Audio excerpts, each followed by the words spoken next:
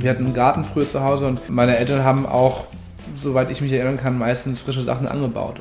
Das heißt, mein Bezug dazu ist ein sehr direkter und für mich ist es nichts Besonderes zu sehen, dass eine Tomate oder eine Karotte, wie die, wie die wachsen oder woher die kommen.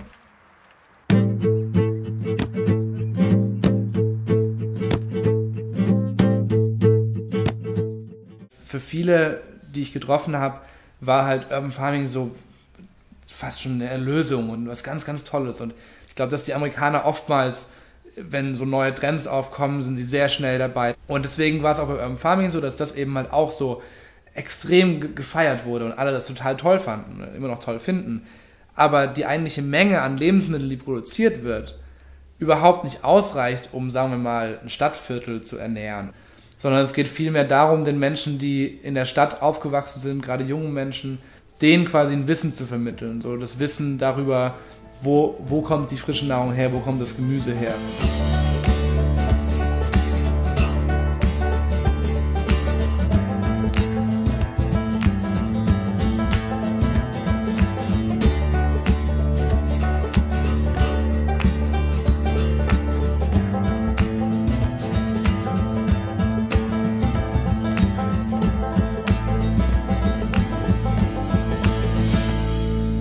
Ich glaube, eins, eins der wichtigsten Bilder für mich in der Geschichte ist ähm, das Bild von Ned Turner, der auf seinem Dach äh, in New Orleans sitzt. Äh, der ist, war früher Lehrer in New York und ist nach New Orleans gezogen, um dort eine Farm zu gründen, ähm, um nach dem Hurricane Katrina das Viertel äh, Slow Ninth Ward wieder mit aufzubauen.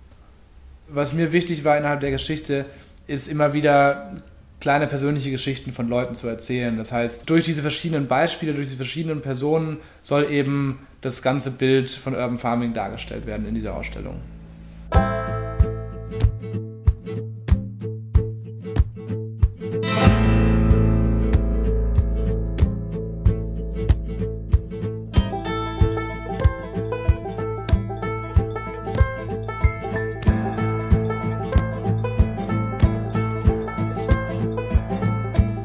Glaube, dass die VGH durch den VGH-Fotopreis, den sie jedes Jahr ausschreibt, hier in Hannover ähm, nochmal unterstreicht, wie wichtig die Fotografie in der Stadt auch ist. Und ich glaube, dass das einfach dem, dem Stadtbild und dem, dem kulturellen Stadtbild in Hannover unglaublich gut tut.